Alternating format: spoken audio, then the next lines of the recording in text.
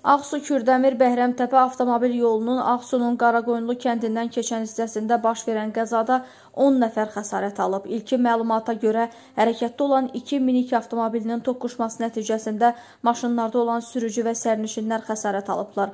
Müxtəlif dərəcəli bədən xəsarətləri alan 10 nəfər xəstəxanaya çatdırılıb.